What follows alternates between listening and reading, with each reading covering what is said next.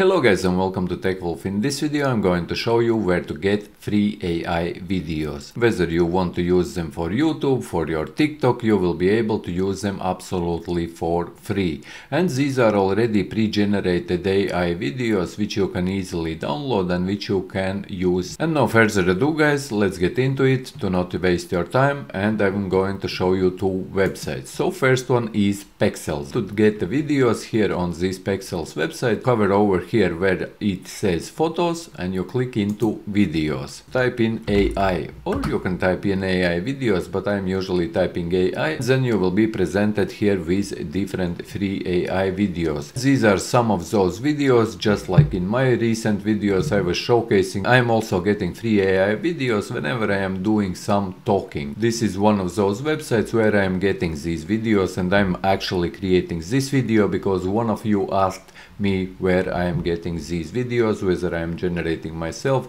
So no guys, I am getting them from these two websites. So as you can see, there is quite a lot of free AI videos which you can get and if you would like to, for example, get any of these videos, let's say this one, you just click into it and here you can see free download and once you click free download you will be able to download this video.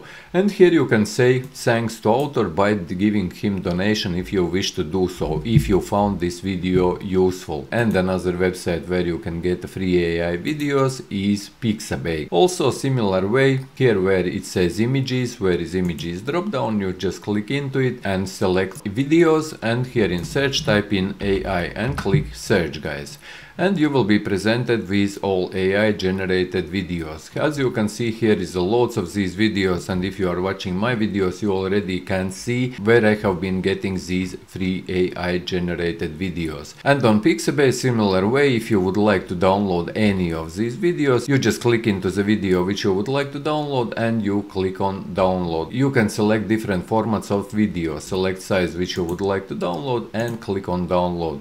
And also you will be able to donate to the author who created this video. But like I mentioned at the start of this video, you can use these videos in your YouTube videos, on TikTok, on Shorts, wherever you want for absolutely free as these are copyright free videos. So yes guys, hope that you found this video useful. If you did leave a like, share this video, subscribe to the channel if you're new and see you in the next one.